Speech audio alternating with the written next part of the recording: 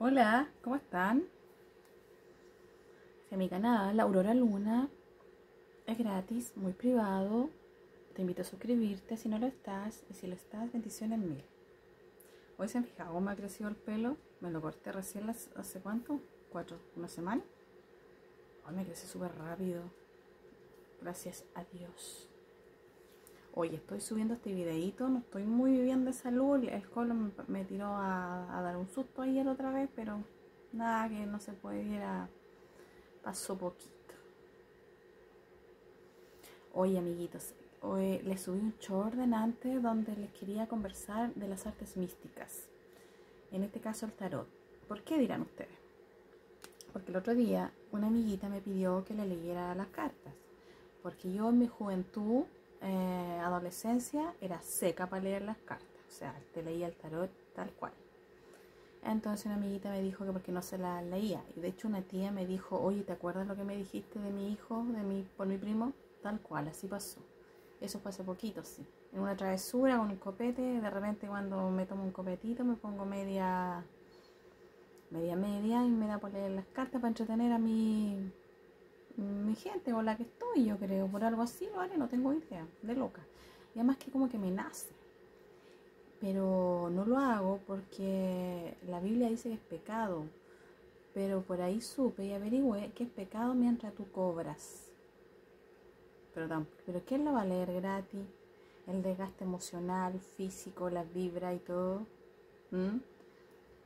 Yo creo que lo haría por un aporte voluntario, lo voy a empezar a hacer. ¿Ya?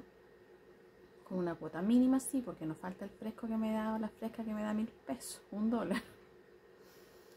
Pero no sé, lo estoy pensando, que tengo fe en mi canal de YouTube y creo que no es de que llegar a otra cosa. Y obviamente ando buscando trabajo y mandando currículo online, esperando algo. Bueno, este es mi outfit, me puse así brillante para leerle, para contarles de esto, para hablarles de esto. Entonces, eh, decimos, ¿qué decimos nosotros? Eh, siempre estamos preocupados por cómo nos va a ir, qué nos está pasando, me está engañando, voy a conocer el amor. Eh, siempre queremos saber, porque somos personas ansiosas, siempre queremos saber. Hay personas que te, que te pintan muy lindo las artes místicas o esotéricas, te dicen es el equilibrio de las cosas. Porque si tú sabes algo, no te vas a ir por ese lado, te vas a ir por acá, ¿ya? Ahora, si tú sabes que tu marido, tu mujer, tu esposo, tu pueblo te está engañando, ya sabes a qué tenerte. Obviamente no le vas a decir me vi las cartas, pero sí le puedes decir así frente, yo sé que tú me engañas, lo descubrí, me lo contaron.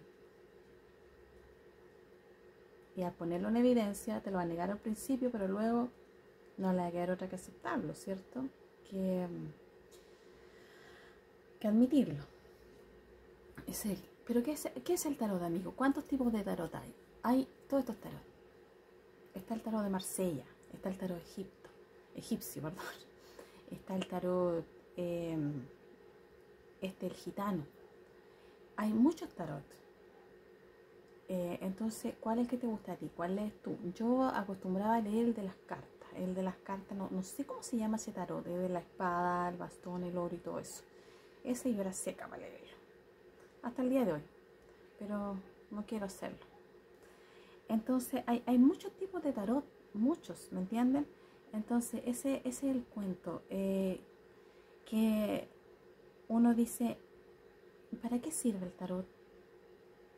¿Para qué te serviría a ti? Tú que estás al otro lado de la pantalla, cuéntame. Eh, ¿Para qué te serviría a ti leer las cartas? Hay una hormiga y otra vez y estoy como loca mirando la hormiga. También le llaman el tarot terapéutico. Está el tarot que solamente es el mismo, pero le llaman terapéutico. Es como ir a ver un psicólogo con la diferencia que este es un vidente y a través de las cartas te va a decir lo que está sucediendo, lo que está pasando. Ojo con los charlatanes, hay mucha gente que ni siquiera cacha lo que dicen las cartas, no tienen el don, solamente quieren sacar dinero y hay miles. Entonces, esto es el tarot, ¿cierto? Entonces, ¿qué, el tarot terapéutico, por su parte, a ver cómo te lo explico. para que me puedas entender en palabras simples, porque si te lo explico con otras palabras lo vas a entender. Eh, el tarot es, a ver cómo te la ver, es hacer un énfasis en las cosas que te están pasando y que tú puedes cambiar. ¿Me entiendes? Es un, un énfasis de tu vida. Eh, es como equilibrando tu ser y, y ay, pues me distrae, pues sale de aquí. Perdón, es que me distrae la po.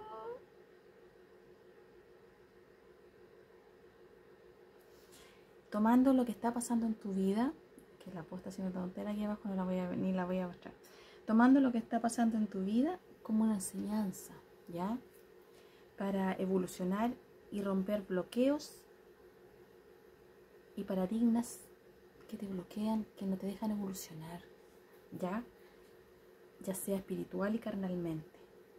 Hay muchas cosas que a veces nos bloquean, no nos dejan seguir, no sabemos qué pasa. Yo, por ejemplo, a veces digo, ¿esto será brujería? ¿Por qué no se me pasa con el paracetamol? ¿Por qué no tomo esta historia y no se me pasa? Entonces, ¿y, qué hago? Digo, oh, me, voy a ir a, me voy a ver el tarot. Voy, voy y me voy a ir a ver el tarot para que me diga si esto está en mi mente, si esto está en mi guata, si esto está en mi cerebro, si esto es estrés. Generalmente eh, hay muchos vivos que te dicen, no, te hicieron una hechicería, eh, te cobro tanto, tanto por limpiarte. Puede ser verdad, pero también puede ser que no. Entonces, ojo con eso, amiguitos, amiguitas. Y, también, ¿cómo, cómo, te lo explico? Eh, a veces uno, la medicina no te da la respuesta.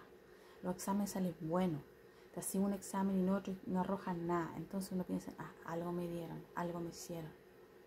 Pero los que somos creyentes, crédulos, pues los escépticos no creen en nada, ¿cachai? Ni siquiera en Dios. Pero entonces yo digo, ¿el tarot también lo usan para maldad? No lo sé.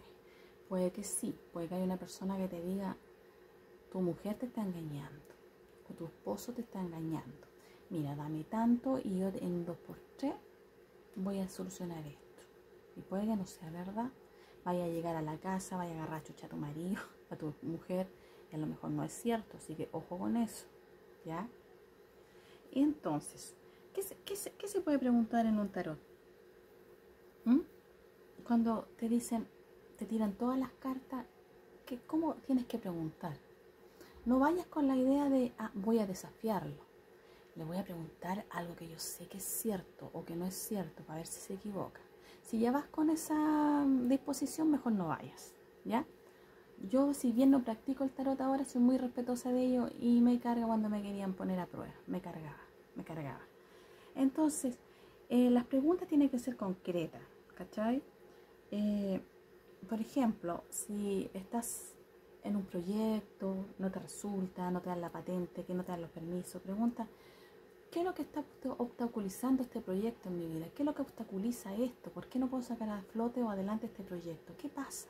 Pero así el hueso la pregunta, ¿ya?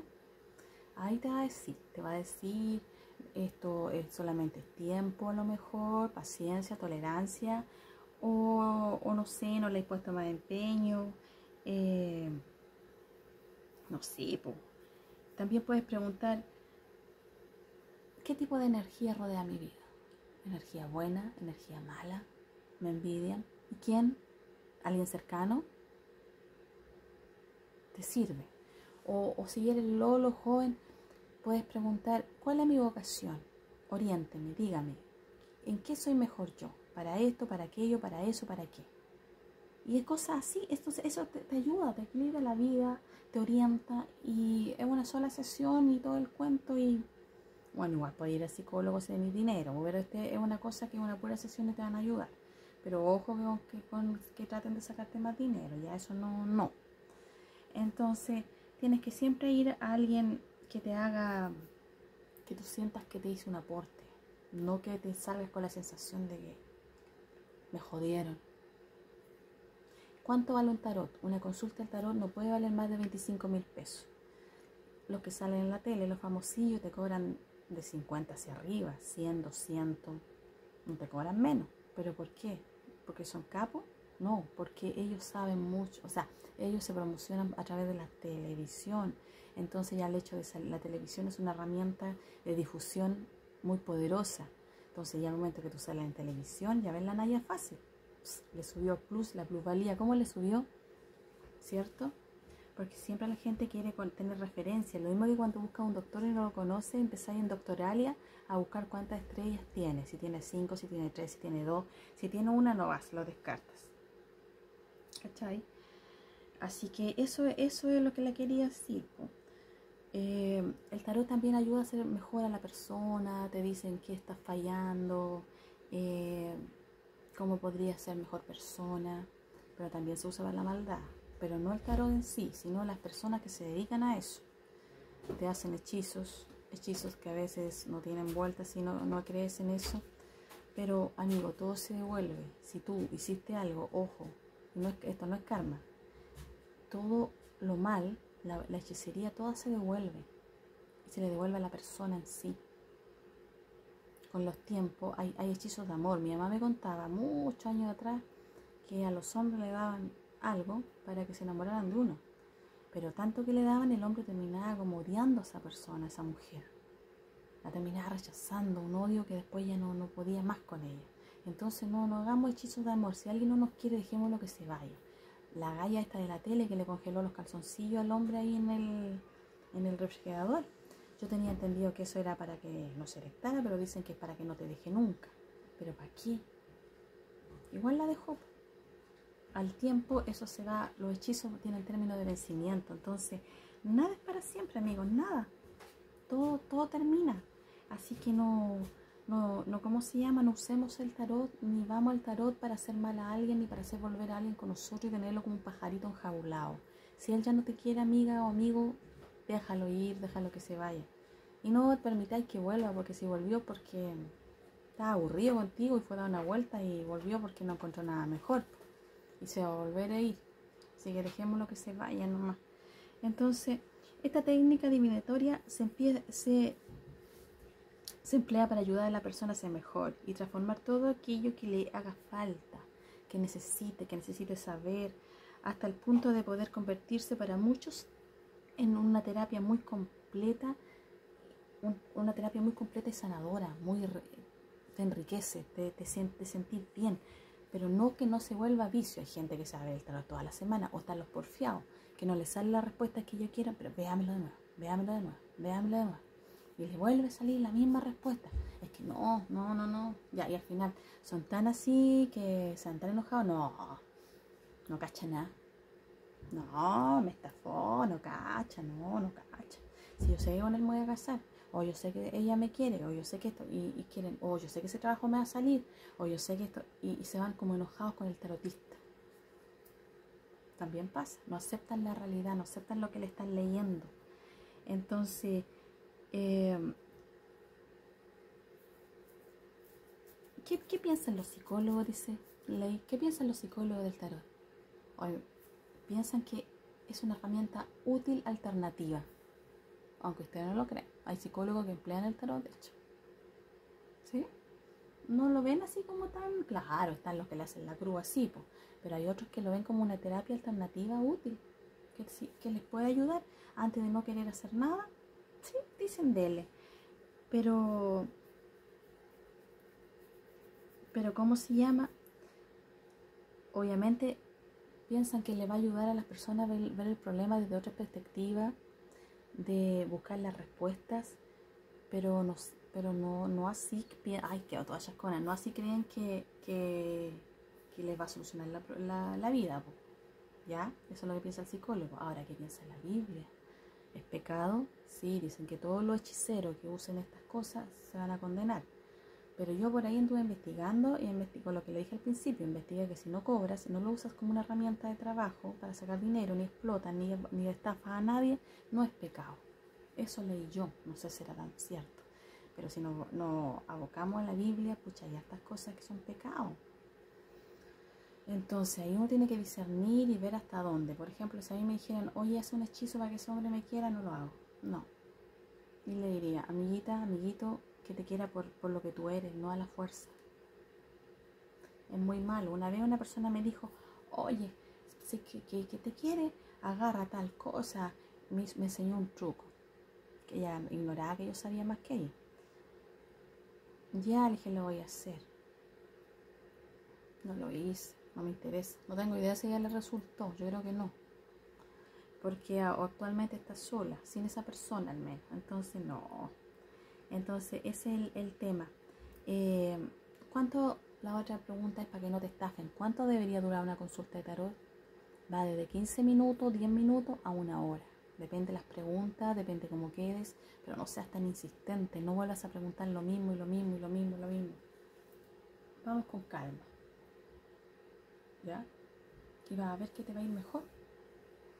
Y te va a ir más tranquilo, si no te va a ir con una ensalada y harina, va a dejar el tarotista todo enreado y después no te va ni atender, va a decir, no, esta mujer, esta, esta mujer, ¿cómo se llama? O esta persona me viene puro a calentar la cabeza, me deja peor, tiene mala vibra y todo el cuento. Para algunos la lectura de las cartas es considerada una herramienta muy poderosa y precisa y le da clavo, intuitiva, para, para acceder a una información oculta que solamente las cartas se las pueden dar. Para otro una tontera, es un chiste. Hay de todo. Así que nada, pues yo te quería contar del tarot, también te quiero contar del péndulo, pero lo voy a hacer en otro video porque ya llevo 18 minutos y quiero hacer un video más o menos corto, no tan largo. Entonces, esa es la, la, esa es la cosa. Mira, ¿es tan cierto el tarot? Ningún estudio ha podido demostrarlo, si es cierto o no, pero tampoco han podido demostrar lo contrario, dice. Yo tengo experiencia, que me han dicho cosas, se me han cumplido, pero no, y me dicen, ah, se te han cumplido porque tú estás pensando en eso. No, se me ha olvidado, y con el tiempo se cumplió tal cual como me dijo el caballero. Pero hay que buscar una persona sabia, una persona que sepa, no una persona quiere solamente sacarte el dinero y reírse de ti, ¿cachai? No, para que eso no, no, tiene sentido. Así que, nada, pues. En eso estamos. Entonces, eso les quería contar. Eh, también la gente siempre me dice, o sea, perdón, me decía, ¿cuántas, ¿cómo se tira el tarot? Se puede tirar de varias formas. Tú barajas las cartas la y le dices al, al cliente, al solicitante, divídela en tres montones con la izquierda. Tú con la misma izquierda y de ahí le dices, saca cartas, anda sacando. ¿Cuál es la pregunta primero? Y vas sacando y tú le vas respondiendo. ¿Cómo? También está la tirada que le tiráis todas las cartas a la mesa y ahí le haces una lectura sin preguntas. Le dices, tú estás pasando por un periodo de estrés, oh, qué raro, ¿eh? En este tiempo. Eh, estás, enamorado, no te corresponden, oh, qué raro, ¿no? no, vienes porque tu pareja te está engañando, eh, estás muy estresado, necesitas que te aclaren muchas dudas en tu vida, hay un familiar enfermo en tu familia, o ahí cuando uno le da penita, ¿cierto? Prefiero, yo digo ahí, no, no, no, no, no quiero hablar de eso. No, no, eso no me lo diga. Prefiero no saberlo. Ahora, si está enfermo y no le va a pasar nada, obviamente mejor saberlo, va a llevarlo al doctor. Y yo pregunto también por mi salud, ¿cómo estoy? ¿Estoy ir al doctor o solamente estrés? Y a veces te dicen, o te dicen, si necesitas doctor. Y otras veces te dicen esto es estrés, relájate, toma aire, hay personas que le han dicho que en el amor no lo van a encontrar nunca, que llegaron solo a este mundo y solo se van a ir. Así como otros que nunca van a estar solos, siempre van a estar con amor. Te lo dicen pan, pan, vino, vino, esos son los buenos, los secos. Si es una persona que te quiere solo eh, dorar la píldora, te va a decir, no, te va a estar todo bien. Eh, yo, por ejemplo, estuve muy enamorada una persona. Esta persona se iba a casar terminó conmigo muy canalla una semana, un mes antes más o menos terminó conmigo. Tenía lista la otra, era una ex que tenía. Y la ex creo que le propuso matrimonio borracho. Y como la mujer tenía familia y una cagazón de hermano, entonces como que se vio comprometido, lo hizo en público. Y me dejó, po. dije, ¿se va a casar? Me sentía morir, literal me quería morir. ¿Qué ahí se fue a verme las cartas. Me tiraron las cartas así. Me dijo, no hay nada que hacer, se va a casar, sí o sí. Yo me quería morir, de verdad, no me pasaba bocado por aquí. Pero tranquila, que este matrimonio no va a durar, no va a alcanzar a llegar al año. Y van a terminar en tribunales, con problemas y todo el cuento. Y yo dije, ¿por qué en tribunales? Si la galla es pelo vivo, la, la galla era zorra, zorra, zorra, hasta el día de hoy.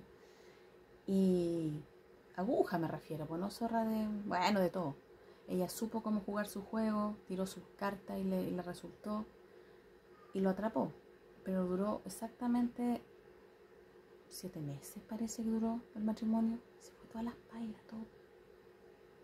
Tal cual. Y terminaban tribunales porque ella lo demandó y todo el cuento. Fue con policía a, la, buscar las cosas a la casa de él, así haciendo escándalo innecesariamente. Se fue con cuática.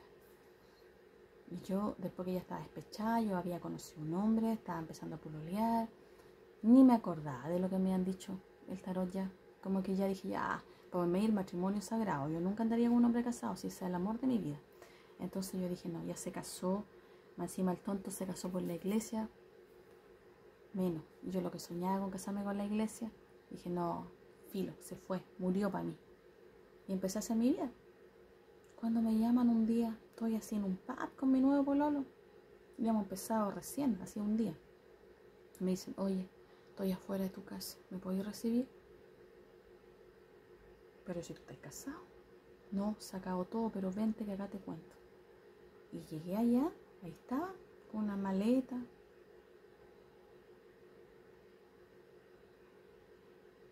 Así no. Después que me tomó el corazón, me lo agarró, me lo sacó, me lo estrujó, me lo pisoteó. Y todo llegó a mi casa. Había, se había ido todas las pailas por una tontera. Por una tontera. Así fue. Pues, así que de que las cartas dicen la verdad, la dicen. Y de ahí le tomé mucho respeto al, tarot, porque de verdad eh, a veces la chunta. En serio. Así, pues. Entonces, cuando vayas al tarot, eh, generalmente prepara una lista. Porque lo mismo que cuando yo voy al doctor, llevo una lista en mi WhatsApp, anoto todo lo que le quiero preguntar. Para que no se me escape nada. Porque con los nervios o el dolor uno no pregunta. ¿Ya? Y aparte que los doctores te la que hacer rápida, el tarotista más o menos. Parecido. Entonces tú llevas todas las preguntas y vas preguntando, vas preguntando, vas preguntando. Anda con, con la mejor disposición, acepta la energía, anda con buena energía, acepta la energía del terapista. No vayas onda enojada, porque si vayas enojada no te van a leer las vibras. Vas a estar vibrando tan bajo que no te va a leer nada el tema, nada. Eh, mantén tu mente abierta, no, no, no, no con la negatividad. Eh, confía en quien te está leyendo las cartas. Confía y no esperes una respuesta siempre positiva. Ábrete a lo que venga. No esperes siempre que te van a decir que todo está maravilloso, que todo está muy bien, que todo... Ábrete, ábrete al, tarotista y no esperes siempre que todo va a estar bien, porque no siempre todo está bien. De repente te puede estar engañando. Eh, me desconcentra, amigos, me desconcentro si están dispersos, me desconcentro por todo.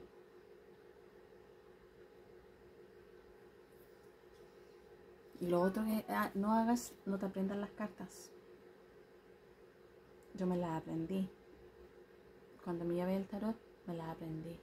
Entonces yo ya sabía lo que me estaba diciendo. Entonces no me sorprendía nunca.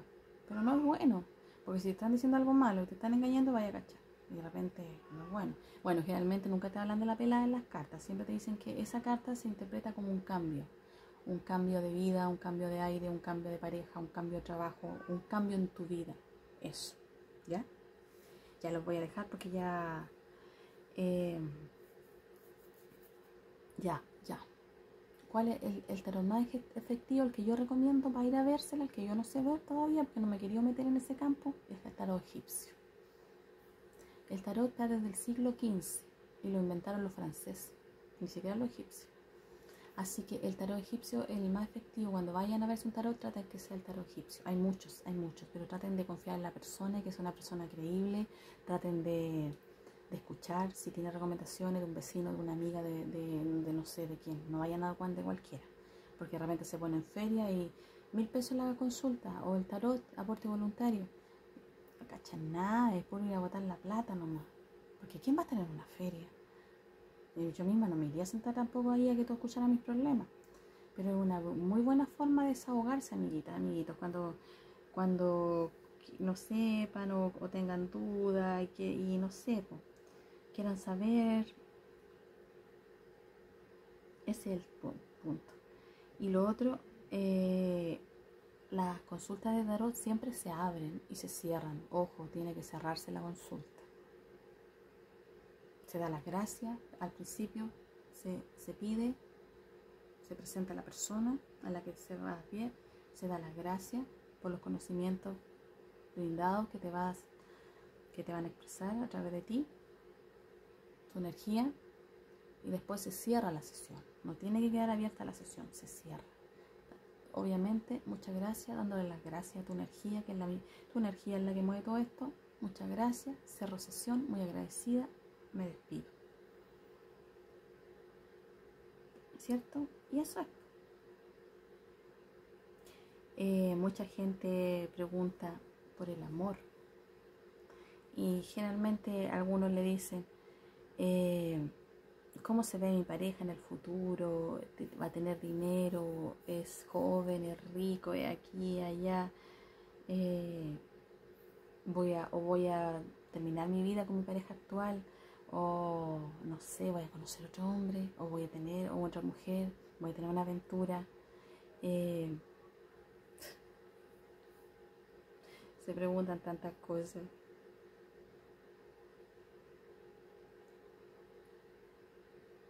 Abiertos, esa es la única sugerencia que les doy, abierto para, para todo lo que quieran preguntar, no, no,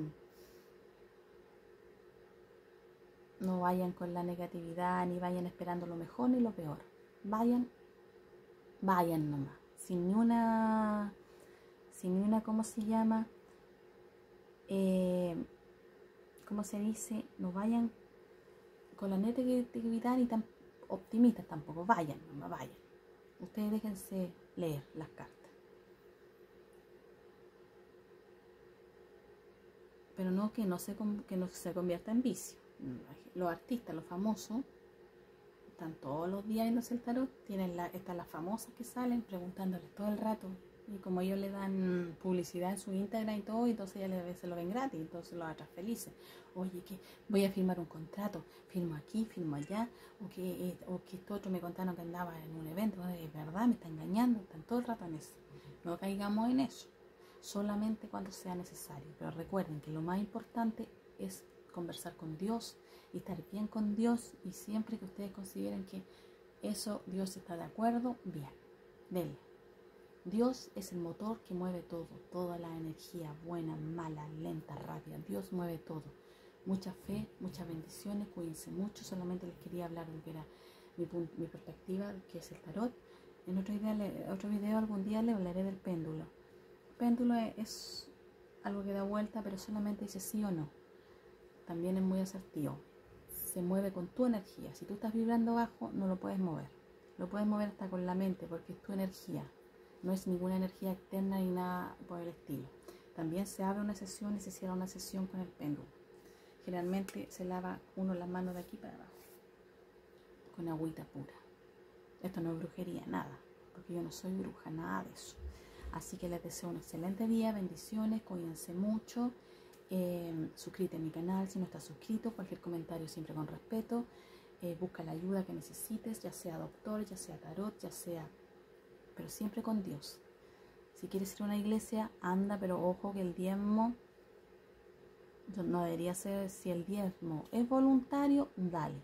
Pero si el diezmo es impuesto es obligatorio y todo eso, no. Porque nadie está en el bolsillo de otro y no tenéis por qué darle el 10% de tu sueldo a una persona. No. Yo estoy de acuerdo con el diezmo voluntario. Yo sé lo que tengo para dar, porque uno puede estar muy pobre, al menos yo puedo estar muy pobre, pero si, si una persona necesita, no sé de dónde saco, pero le doy. Así también tiene que ser con el diezmo, ¿ya? Esa es mi manera de pensar. Recuerda, no soy psicóloga, hice un, un, semestre, pero me faltan más, me darían ganas de terminarlo, pero no, prefiero estudiar otra cosa. Medicina quiero estudiar para sanarme sola. Y eso. Y pronto les tengo una sorpresa porque abrí una página con otra plataforma que se la voy a dar a los que quieran. Me preguntan se las doy. En serio. Con mucho respeto, con mucho cariño, con mucho amor. Suscríbete a mi canal. Luz, bendiciones. Eh, que te vaya muy bien. No pierdan nunca la fe. Y si hablo muy bajito, recuerden que cuando YouTube me monetice me voy a poner un micrófono y suscríbete a mi canal, por favor. Yo sé que me ves porque te veo que me ves, pero no estás suscrito o suscrita, suscríbete, ya no seas malo. Imagínate yo cuánto, medio año y todavía no llevo los mil suscriptores. Y eso que yo lo hago con tanto amor y cariño los videos para ustedes. Suscríbete ya, te voy a estar esperando. Bendiciones mil, abrazos. No hagas el mal, hace solamente el bien para que se te devuelva, no caigas en actitudes tontas que no te llevan a nada. Cuídate mucho y nos estamos viendo en un próximo videito suscríbete a mi canal y pon me gusta, ¿ya? Chao.